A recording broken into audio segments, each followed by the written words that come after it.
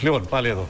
Με πολιτικούς. Και να ξεκινήσουμε να καλημερίσουμε την κυρία Φωτεινή Βάκη, κοινοβουλευτική εκπρόσωπος του ΣΥΡΙΖΑ. Καλημέρα σας. Την κυρία Σοφία Ζαχαράκη, την αναπληρώτρια εκπρόσωπο τύπου της Νέας Δημοκρατίας. Καλή σας μέρα. Καλημέρα. Και τον κύριο Μάριο Γεωργιάδη, βουλευτή της Ένωσης Κεντρών. Και θα αρχίσω ανάποδα. Καλημέρα. Γιατί δεν έχουμε και πολύ χρόνο. Οπότε θα πάω από τον κύριο Γεωργιάδη εγώ. Κύριε Γεωργιάδη, το ερώτημα για εσά είναι τελικά το πότε θα πάμε σε εκλογές και πότε θα γίνουν αυτές και γιατί τόση ανησυχία.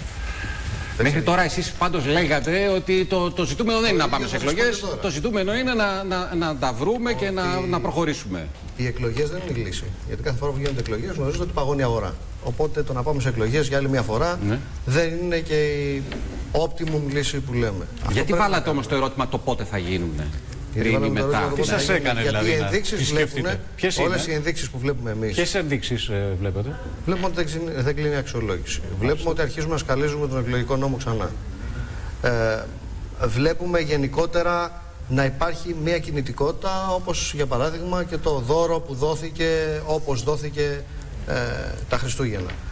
Ε, κινήσεις οι οποίες ε, είναι στοιχεία που για εμάς ε, είναι προεκλογική, όχι εκστρατεία, φέρνουν προεκλογικά μηνύματα.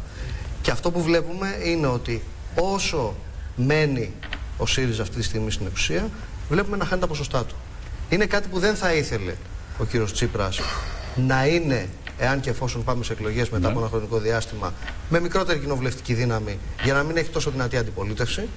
Και σίγουρα θα θέλει να φέρει πιο κοντά και τις εκλογές Εκτιμάτε με ότι την θα απλή γίνει- αναλογική. Ότι θα γίνει και αλλαγή στο εκλογικό σύστημα, δηλαδή. Δεύτερη αλλαγή. Αυτά βγα- βγάζουν πληροφορίες και τα ρεπορτάζ. Δεν το Εσείς γνωρίζουμε είστε αυτό. που Και είσαστε είδαμε εκεί; και ο κύριος Αν πούνε, Κουρλέτης- προτείνουν πράγματι και πούνε ότι τώρα στην καινούργια, γιατί πρέπει να πάει καινούργια κοινοβουλευτική για να το κάνει. Άρα όχι τώρα κοντά εκλογές, πρέπει να πάει Οκτώβρη, μετά να τον αρχίσει Οκτώβρη Μετά τον για να μπορέσει Να να το βάλει ως μπορέσει θέμα. να το κάνει άμεσα. Για να Ακριβώς. μπορέσει να το κάνει να πάει στι επόμενες εκλογές με αυτό.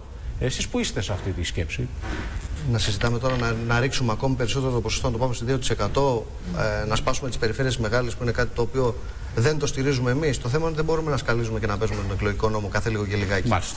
Να είμαστε με μια σταθερή άποψη όπως πέρασε και ψήφισε αυτή τη στιγμή, ψηφίστηκε στη Βουλή ο εκλογικός νόμος. Θεωρούμε ότι ε, αυτό που γίνεται είναι γιατί πιστεύει και ο κύριος Τσίπρας ότι και η κυρία Γεννηματά η οποία δεν ψήφισε τον εκλογικό νόμο και ο κύριος Θοδωράκης το ίδιο ίσως να έρθει πιο κοντά και να μπορέσει να πιάσει το 200 που δεν έπιασε την πρώτη φορά. Ναι.